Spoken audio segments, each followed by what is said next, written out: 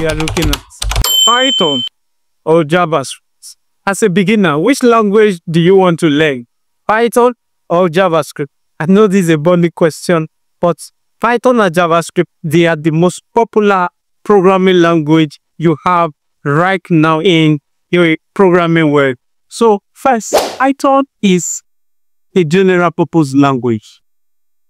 What I mean by being a general purpose language? Because it plays a role in different aspects of life. You can use it for AI, artificial intelligence, web development, machine learning, ML, machine learning. Then you can use it for data science. write scripts with Python. Deep learning is also part of them. So that is why I said Python is a general purpose language. But when we talk about JavaScript, JavaScript is a language of the web. By this, we can use it for both front-end, for both front-end, back-end development. How be it due to recent uh, developments for JavaScript, new frameworks are coming up that you can use for machine learning and AI with JavaScript. But naturally, JavaScript as a language is a language of the web. Then, let's compare something between Python and JavaScript. Ease of learning. As a beginner, you want to know which one can I pick up faster? As the learning curve for Python, Python basically have a lower learning curve. Why? Because the language Python, the syntax is more like pseudocode. What is pseudocode? The syntax for Python is close to English. You have indentation, then you have some syntax, just like that. They are more like writing code in English, pseudocode. So the learning curve of Python is a bit lower, lesser. But when you come to JavaScript, for JavaScript,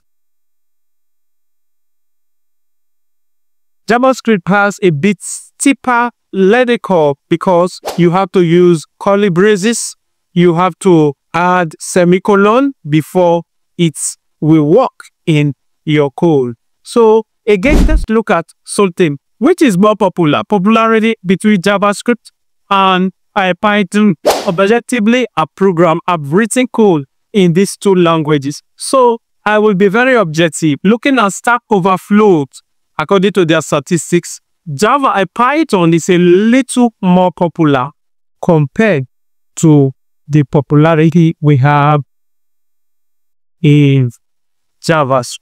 The package to career path. If I learn Python, where can I use it?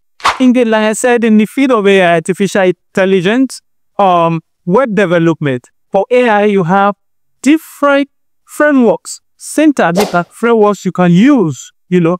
So jobs in AI, data science, machine learning, and deep learning, you can find here. What is the career paths? Career paths.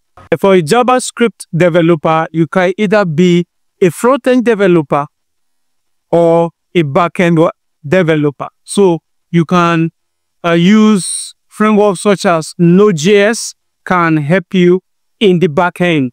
So for the front end, you have to learn how to use your React and some other framework. There you can be a front end developer and a backend developer. its recent discovery are coming up showing that for JavaScript, new frameworks are being developed that are tended towards this. But the standard currently right now is that this is what Python can do for you. This is what JavaScript can be for. I have a complete video of Python versus JavaScript. I'll link it to this video. It's going to help you as a beginner. Hope you enjoyed this video.